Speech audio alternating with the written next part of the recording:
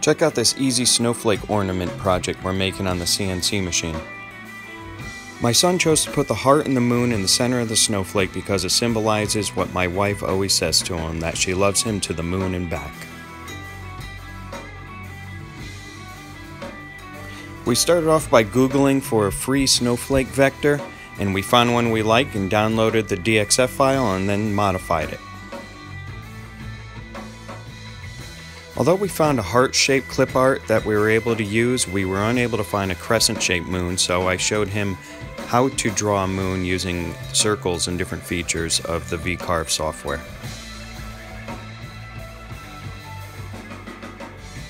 After Bryce was happy with the layout, all we had to do was set the toolpath formats and mount the piece to the CNC machine and start running it.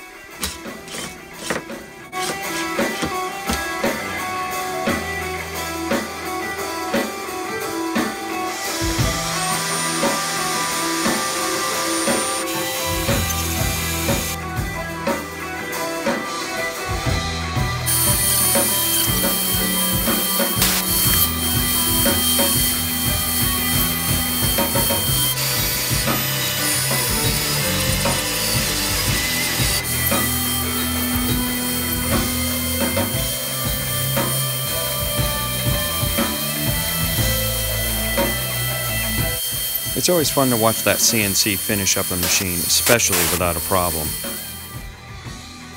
Now it's time to finally unscrew that ornament from the spoil board. It only took about five minutes to run this on the CNC machine.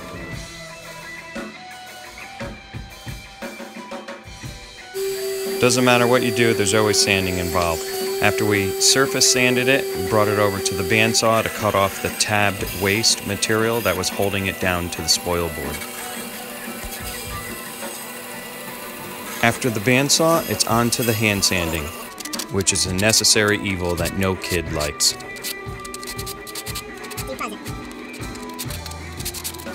To keep things simple, we just applied a little Watco oil on top of this white oak ornament and let it dry and scuffed it down and applied another coat.